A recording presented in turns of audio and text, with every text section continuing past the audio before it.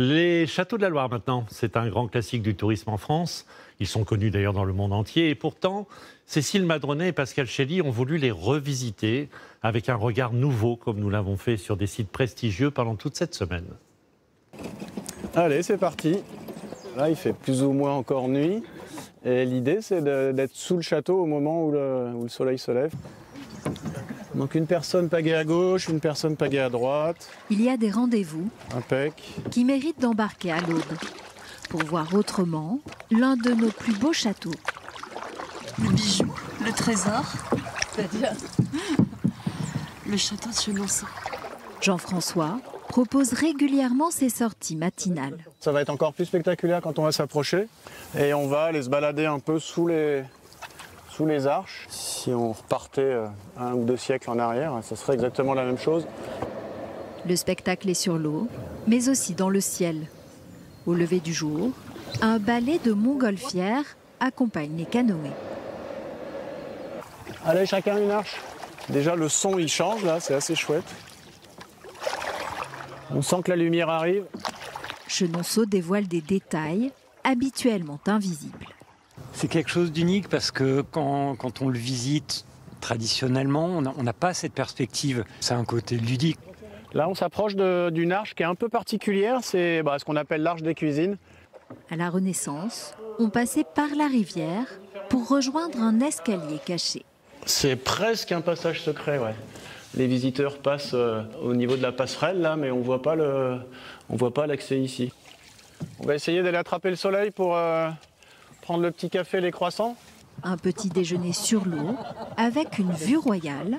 Du sucre. Le plaisir est garanti. Là, on se rend compte quand même que les châteaux n'étaient pas positionnés euh, dans le paysage complètement par hasard. Quoi. Hein. En étant habitant ici, on aime revenir, venir et revenir ici.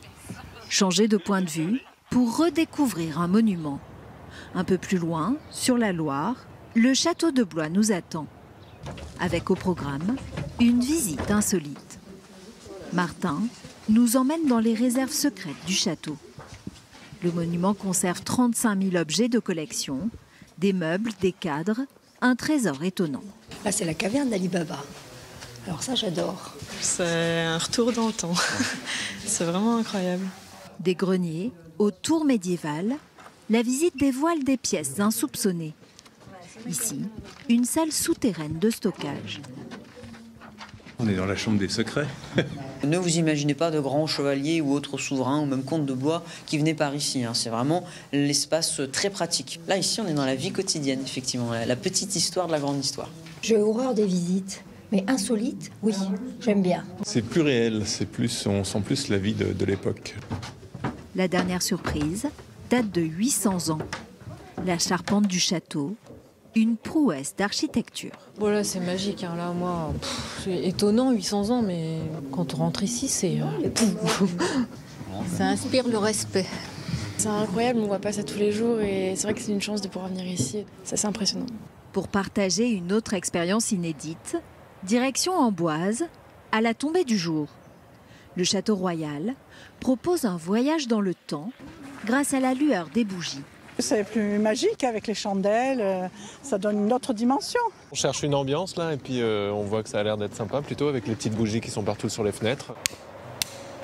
Avant l'arrivée des visiteurs, il a fallu un peu de préparation. Donc là on est dans la grande salle, donc la salle du, la salle du conseil, bah, qui est la salle un peu star du château. Sur ces tables, les chandeliers vont éclairer toute la salle. D'ici un petit quart d'heure, on va aller appuyer sur le, sur le bouton magique pour tout éteindre, tout ce qui est lumière artificielle en tout cas, pour ne garder la lumière que la lumière des bougies et, des chandelles. Il suffit alors d'imaginer une soirée à la cour de François Ier, avec de grands banquets et la chaleur de cette cheminée ça réchauffe, ça fait du bien, et puis c'est super pour cette illumination. Peut-être que François Ier a fait ça. Il a fait comme vous. Peut-être qu'il n'était pas habillé comme moi non plus. On est un peu entre le clair et l'obscur. J'imagine peut-être un peu mieux comment il vivait à l'époque.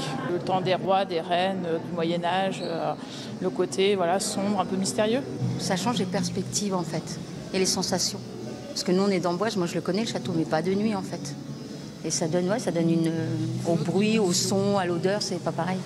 Construit il y a plus de 500 ans, le château royal d'Amboise peut donc toujours nous surprendre.